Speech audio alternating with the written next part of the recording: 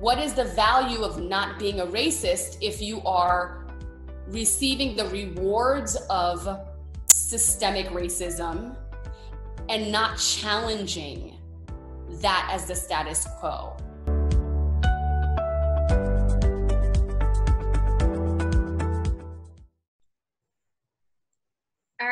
Welcome everyone. Thank you for joining me on Strive Conversations, talking about compassionate leadership in the age of anti racism. My name is Melissa Tele, and I'm the founder of Strive With Me, which is a platform making personal development and social change more accessible to busy people, and also your host for Strive Conversations, which is where we like to make uncomfortable topics about personal development and social change a little bit more comfortable.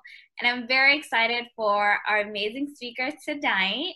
Uh, Magalie, she's an incredible human being, professional. She's going to share a little bit about herself because I don't think I can do it justice. So I'm going to turn it over to you.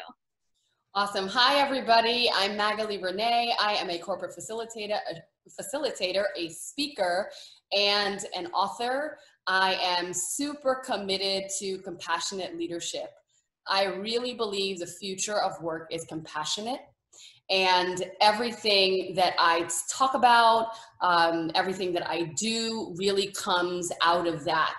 So, as we are moving into an age of taking control uh, and changing paradigms around how we look at race in this country, in our organization, in our organizations, in uh, our businesses, it's really important in my opinion, it is very, very important to begin at the beginning. And we begin with foundational principles, and compassion is the first place to start. Compassion for yourself, compassion for others.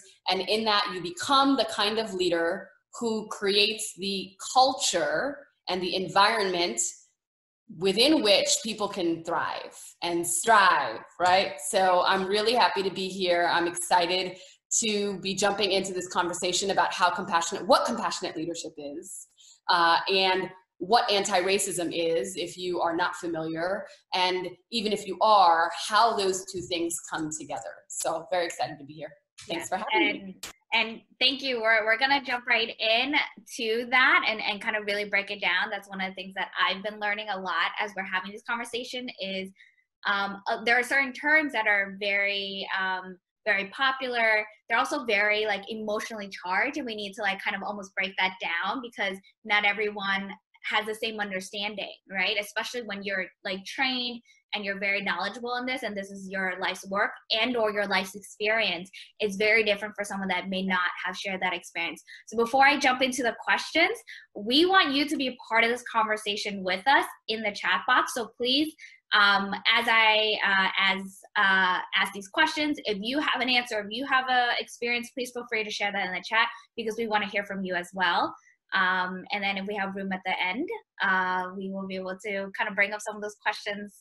So we're going to get started with let's talk about what is compassionate leadership.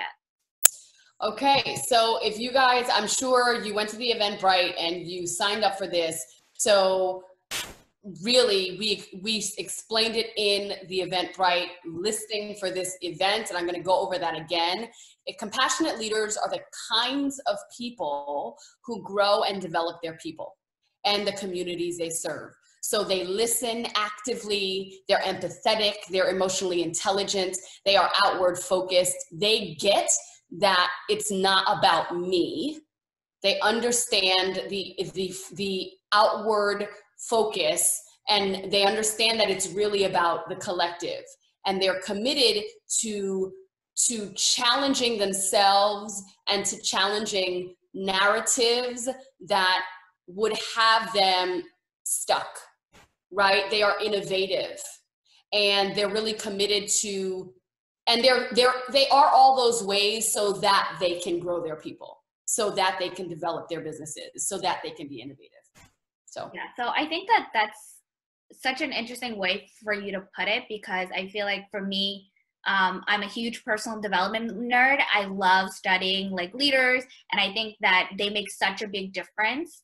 Yeah. Um, and now in the age, as we like title this event, in the age of anti-racism, leadership looks different than than maybe the normal day to day And so before we, just as we define compassionate leadership, let's talk about what anti-racism is because there's a difference between anti-racist and being not being racist. So I'm curious to hear your thoughts on that. Yeah, so uh, I think so. There was something that you just said that really kind of like struck a chord for me, uh, which is that now we're being asked to approach leadership in a different way. And yes and no. At the end of the day, I think there is a successful and effective leader and then there is a leader who is not effective right? So there's an effective and an ineffective leader. And i would actually say i would challenge the idea that all of a sudden in order to be a good leader you've got to be a compassionate leader now. I think this has always been the case and i think the best leaders have always been the ones who have leaned into the ways of being versus doing. Um, and that now is ever more important now but it isn't a new thing. In order to be a successful manager you've always had to relate to your employees. In order to be a colleague that people want to be around that gets support from their team that is contributing in the best way the kinds of people that people like yeah let's go out with this person let's hang out and get a beer after work like you've always had to be the kind of person who knows how to relate to many different types of people mm-hmm. and that is compassionate leadership so now that we're in this age of anti-racism i'm going to dig into the answer to your question which is that um, you know, I'm going to get graphic here for a moment. So I don't want to trigger anyone, but I think it's very important to make this visceral and make this real. So I'm prefacing by saying if you're if this is going to make you this is potentially triggering, so be present to that and put me on mute if that's going to support you. Um, I'll put my hand up once I'm done talking about it, but it's about rape, right? So I'm starting right now, putting my hand up. Um, if you were at a party and you heard someone being assaulted in the next room, you knew what was going on, and you didn't do anything about it, does that make you a rapist? Absolutely not. You're not the mm-hmm. rapist, but you're not an anti rapist. Mm. Right. And so you're bystanding. It's very visceral, graphic way to put this. Mm. And generally, I tend to come at this from a very light place. But I think it's really important to understand the difference between I am not a racist. So I'm going to put my hand up because I'm done talking about the graphic thing. Mm-hmm. So I am not a racist, but what is the value of not being a racist if you are receiving the rewards of systemic racism and not challenging that as the status quo, not leaning in and taking action to do something to create a unified world, to create a society where we are we have equity and we are equal so does that does that explain it? That's so interesting you say that because when we talk about it, um, so yes, you're not um, like you're not a racist if you like see that, but you're also not anti-racist. So I think that there are people that are not like uh, we talked about like being not being racist and being anti-racist is a is a very proactive choice. And then now yeah. I'm also curious with your example, and I and I don't want to bring up it too much, but like how does that differentiate from being a bystander and an enabler? Because I think that when it comes to similar to the example you've given, which we don't have to go into, uh, because we don't want anyone to um, kind of be triggered by it, but more so, um, there are people that like, like I've grown up like friends when we didn't know, we would say things, and then it was like, oh, ha ha ha, that didn't feel right with me, and that was an attack on someone but I don't know if it's my place to say anything. And I know it's a little off script, but I'm curious to hear about like like the action. No, I super important. I think it's important. I think that that we're looking now at this is a paradigm shift that's happening mm. culturally, societally, in organizations, in the micro, in the home, in your with your friends, with your network, and it's happening globally and universally, right? So many huge shifts are happening. So we're in a new moment.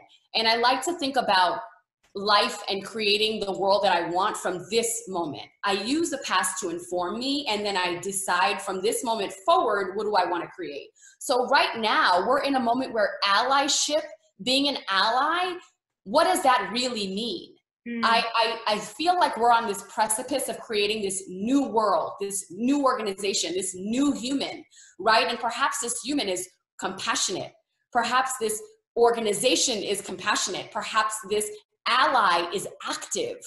Perhaps the changes that we want to make in the world we want to create, perhaps that no longer, it's no longer enough in this moment to simply say, I am not this bad thing we're in a new time where it's an opportunity to do something new to behave differently to engage in a way that we haven't before because now we're creating these new meetings and new definitions mm-hmm. around some of these age old terms right? Ally has been around forever. Comrade has been around forever. Friend forever right? But what does that mean now? Yeah. How do I get to operate right now? And it's also not about self beat up. So I want to address the if there have been moments where you haven't said anything where you've been a bystander um, where you've been not racist but you haven't been anti-racist mm-hmm. this is an opportunity again not to use the past to beat ourselves up and make ourselves wrong. There's enough of that in the world. This is an opportunity to use that to inform us as to how we're going to operate moving forward which is very exciting and inspiring. And it isn't about shame or blame or guilt. It's about I see this. This is new. I've been climbing this mountain. Uh, I had a, an astrology session last night, and I had it. I, I, it's one of the things that I do in my Facebook group. It's a thing. But we did astrology for entrepreneurs, and one of the analogies that my resident expert astrologer used was it's okay to climb up a mountain, be halfway there to the peak, look up and say, you know, I think I'm climbing the wrong mountain. Mm. I don't think I want to climb this mountain anymore. It doesn't feel good anymore. It doesn't inspire me anymore. It is it's dark, it's angry, it's heavy, it's scary. I don't want to climb this mountain. I'm going to go down and climb another mountain. So we all get to look. The mountain is not the thing that changes, right? It's just how we decide to engage with the mountain, right?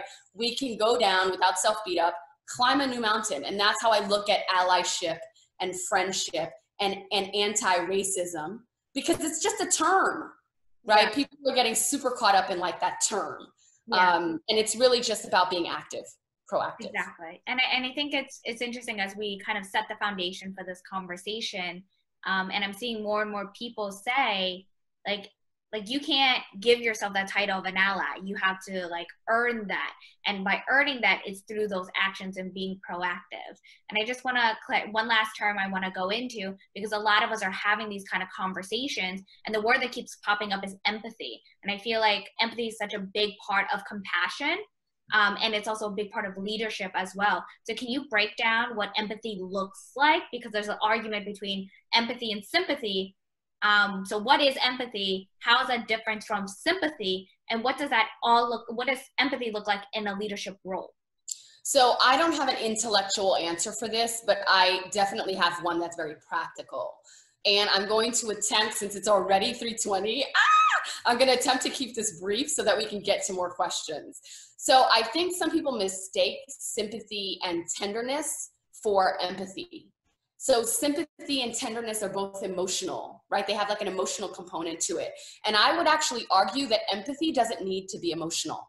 A lot of people, depending on where you fall on the any number of the personality tests, right? Uh, Myers Briggs or DISC, you may not be an emotional person, and that's okay. It actually doesn't respond require, yeah, empathy doesn't require an emotional response. Um, although I do think in corporate spaces, it would be wise to begin to integrate head and heart, which is what I'm talking about with compassion. But I think empathy is about perspective shift again. Mm-hmm. It moves us out of the, oh, that's too bad for you, to instead curiosity and perhaps asking the question how can I better understand or relate to where this person is coming from? Perhaps asking yourself that question can begin to have you move into empathy without attaching it to emotion or getting caught up in how am I supposed to be acting right now. Yeah. It's not about acting. It's really about asking yourself, how can I understand and better relate to where someone is coming from? Um, and then on the back end of that, how can I now communicate with this person in a way that has them experience being seen and heard has them see that it was my intention to understand and relate to them. That's how I look at empathy. Yeah, it's interesting um, because uh, Christina just asked, can you define ally really quickly? Uh, well, I think ally has meant a lot of different things over the course of, of centuries, decades, over the course of time. Right now, in this moment, I think an ally is someone who takes an active role and is an active participant in the well being of someone they are allied with. So if your friend is being hurt, then as a friend and as an ally, what would you do? Right? You would protect that friend. You would call it out. You would be in active support. You would be in active defense. You would be engaged in what we're now calling allyship. So I think of ally as an act, active active well-being, active support. Thanks for watching and thanks in advance for helping me grow this channel by subscribing. Hit the subscribe button, share this with friends, share this with anyone you think would get value. And in the meantime, I'm committed to bringing you more powerful content on how you can face your fears and find your shine. Until next time.